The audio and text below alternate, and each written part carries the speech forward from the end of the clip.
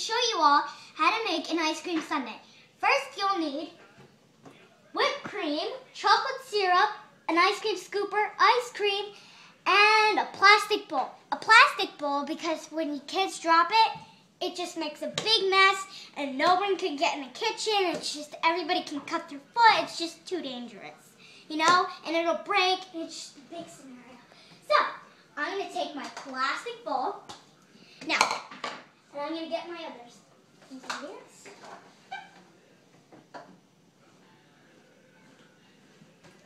Now, I'm going to use sprinkles too, because that's my favorite.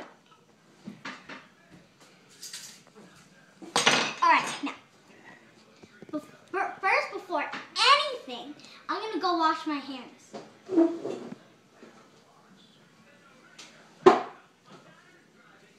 Uh, see, I'm going to go wash my hands, and then, um, and then we're to start on the Now, I love, I love ice cream because it's my favorite, and I love it because all because I usually make it all the time for dessert. It's so delicious with the rich flavors.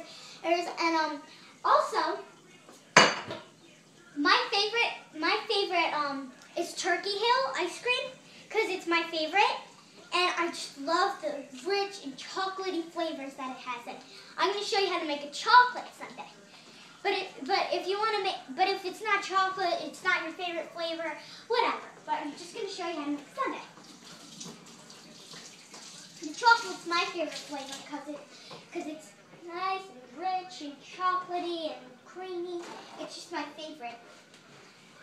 Alright, now we're going to get started. We're going to get started. Alright, now, first I'm going to take my um, ice cream, my uh, Turkey Hill Dutch chocolate ice cream. Then we're going to take our ice cream scooper and we're going to scoop it all up. Mm, that's rich and creamy. Now make sure you don't put too much, scoop up too much or else it's going to get stuck up to the spoon and you can't, um, and it won't fall into the, it won't fall into the bowl.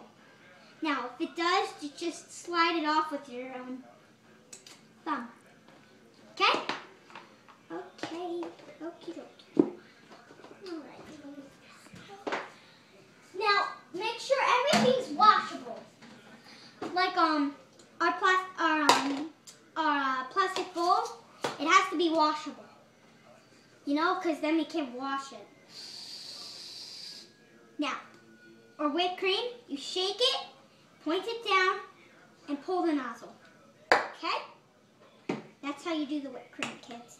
All right, now, pop open your um, chocolate special dark syrup, and you pour it.